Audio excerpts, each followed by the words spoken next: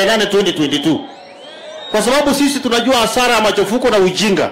Na mimi nataka niambie wale watu wako pale juu, watu wa Azimio, kwa sababu ukisikia baba akisimama William Ruto, ukisikia Junet akisimama William Ruto, yani hawana ajenda, kazi yao tu ni William Ruto kuanzia asubuhi mpaka jio.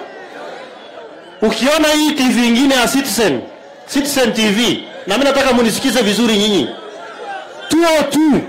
Wakati Moi alikuanga rais akituletea Uhuru Kenyatta hii TV yote KTN na hizi zingine zote zilikuwa upande wa serikali kwa sababu walikuwa wanafuata Nyayo na Nyayo alikuwa mwenye KTN. Hii TV ya Citizen mnaona kila jioni, hata mkutano kidogo wanaleta mapicha ya mkutano wengine kuweka watu convince Kenya. Tunataka tuambie watu wa Citizen, mkae na TV yenu, hata don't future us. Wachana na sisi, sisi tutenda na raia, wachana na sisi.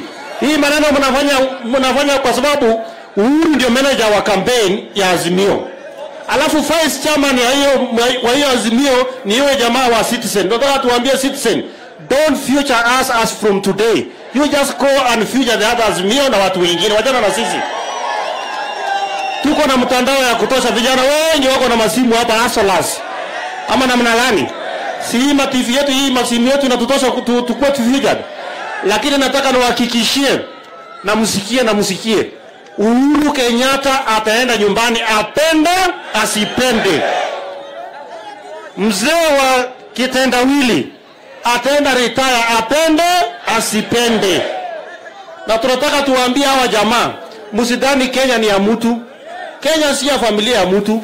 Kenya ni ya Wakenya milioni hamsini.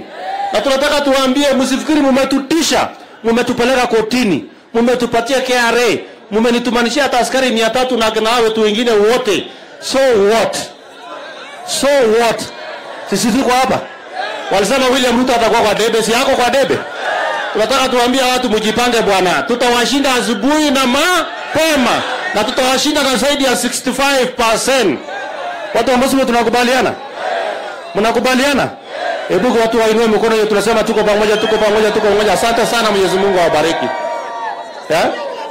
Wacha sasa niite rafiki yetu hapa Chris Wamalwa.